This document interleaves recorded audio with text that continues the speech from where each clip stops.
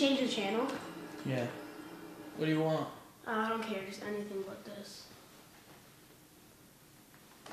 Alright.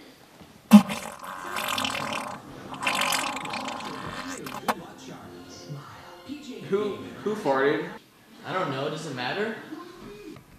Um, actually, yeah, it does matter. That's disgusting.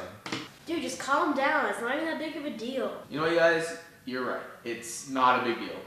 I just want whoever did it to admit it. That's all I want. Okay, listen, Kenahn. None of us farted. All right? I don't want to have to do this, but if someone doesn't tell me who farted, someone's gonna die. Dude, where'd you get that from? I want to know who farted right now.